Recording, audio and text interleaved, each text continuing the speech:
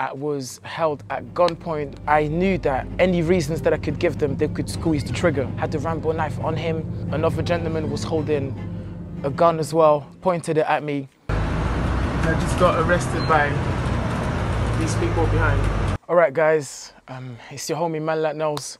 And today I have to share my story with you that recently happened two days ago. I was held at gunpoint by the Met Police and perhaps even the stage of that's like higher than them, maybe the SWAT. I don't know really what the names are, but they entered my bus at 2.36 on the 1st of August at Pimlico Station. Uh, I was wrongly accused of holding a Rambo knife and they basically entered the bus with the laser and pointed it at me. Another gentleman was holding a gun as well, pointed it at me, and went with the entire drill. Uh, it was not a joke, it was real life, you know, when your heart starts to pound and you're like, this is not a drill. So uh, obviously asked me to hold my hands up, so I did. I proceeded, I complied to the law. They mentioned a certain law which supposedly uh, give, gave them the right to do what they did uh, and proceeded to handcuff me. My phone dropped immediately because obviously I lifted my hands up and I told them because uh, I knew that any reasons that I could give them, they could squeeze the trigger. Um, so I told them, yeah, my phone just dropped. Officer, make sure you pick up my phone and search my bag. You can see my work clothes. Now, I work in central London when I'm not here at the studio. Um, so yeah, that's kind of how I balance my life, work in the city and then handle myself as a producer. So this just made me feel like less of a citizen because if you know anything about me, I get mine clean. I've never been affiliated with that conversation whatsoever.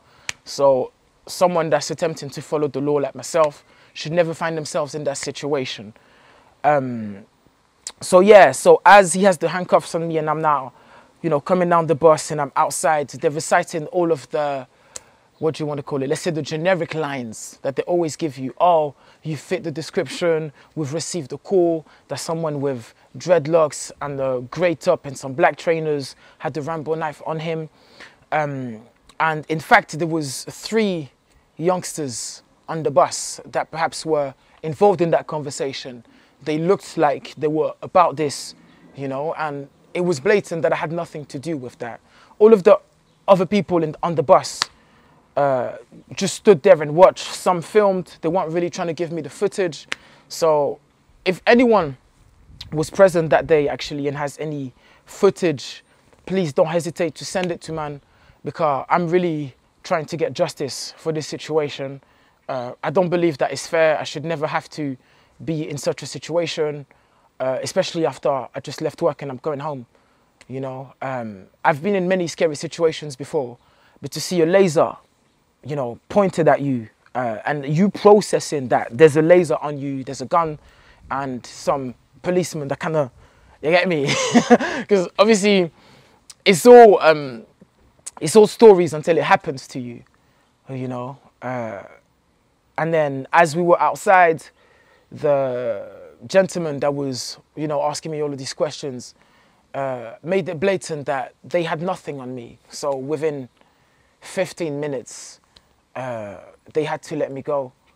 But yeah, it just reminded me of what a ruthless system we're in and what it means for ethnic people or African descendants that live in Europe.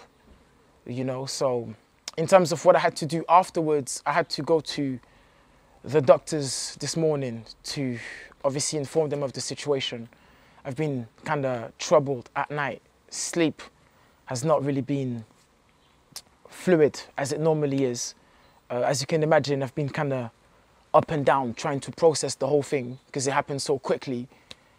Um, thankfully, my work have been quite understanding of the situation. Um, obviously, I sent them the doctor's form and whatnot.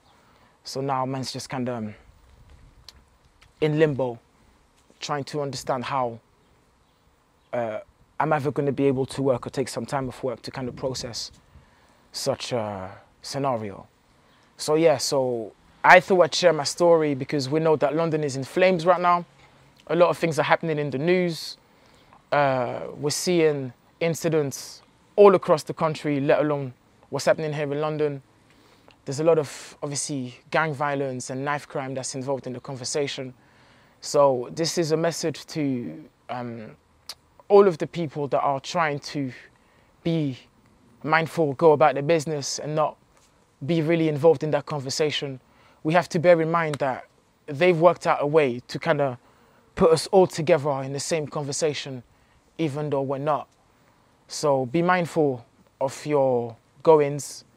Um, I'm gonna take some time to process what's happened anyway uh, and see if I can get any help in regards to uh, obviously the injustice that's occurred because just because I look a certain way should not mean that I enter a conversation when in fact my life reflects the total polar opposite of the allegations.